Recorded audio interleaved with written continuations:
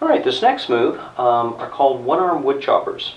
Now, I like to do it on a balance device to make it a little more interesting. This is an Indo balance uh, board, so nice wide setting.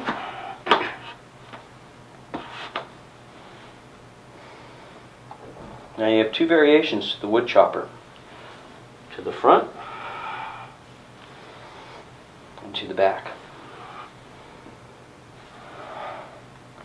Now the nature of this move is to alternate a little bit. So I'll often just pick a random number, you know, two or four or six, something like that, do on the one side, and then hit the same number on the other side.